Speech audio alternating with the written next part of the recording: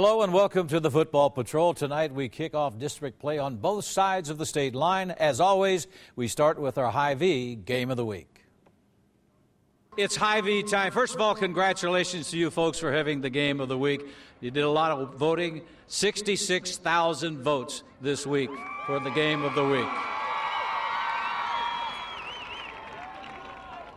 Don Robertson will now make the presentation of the check. On behalf of Hy-Vee and Channel 9, we're pleased to present this check for $500 to William Chrisman for being selected this week's Game of the Week. Congratulations. Thank you very much. On behalf of William Chrisman High School, I'd like to thank Channel 9 and Hy-Vee for their sponsorship of the Game of the Week. Thank you. Now, this is what I want to know. Who's going to be taking this trophy home after the game? For Chrisman, pregame warm-up includes the Samoan war chant. But it was Truman who strikes first. Quarterback David Franklin, a beautiful pass 40 yards down the field to Austin Ford into the end zone for the touchdown. The extra point is good, 7 to nothing. Truman on top. But it did not take long for the Bears running back, Scotty Cates, to even the score. Take a look at this run. He hits the hole, he has the moves, and he also has the speed. He'll go 80 yards into the end zone for the touchdown. The final score William Chrisman 36, Truman 35. So Chrisman keeps the trophy. For more high school football, let's go to Nick Griffith.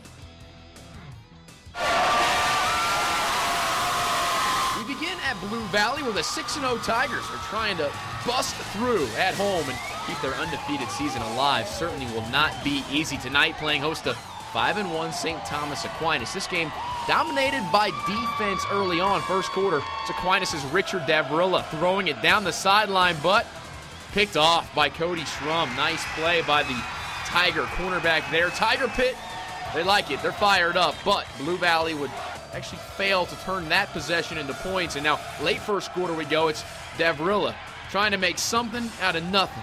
And he does just that. Scrambles, throws to a wide open Shane Knockbar. Knockbar, nice adjustment, and an even better cutback inside. 71 yard touchdown for the Saints. Saints went up 14 to nothing, but Blue Valley comes back to get the win in this one, 38 to 20, your final score.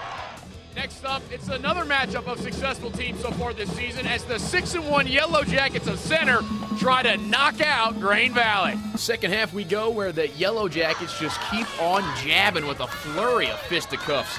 Harold Maven, the quarterback here, back to pass, looking, throwing to Duran Kirkwood. Hits him right in the number, sticks him, baby. Kirkwood from there motors 50 yards to pay dirt. Jackets go on to sting the Eagles. Final score 28 to 13. For more Football Patrol action, here's Karen Kornacki.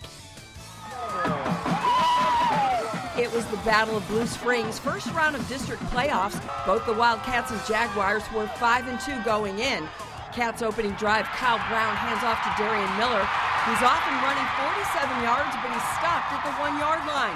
Next play, Brown finishes the job on a quarterback keeper, but Blue Springs missed the point after. They led 6 to nothing.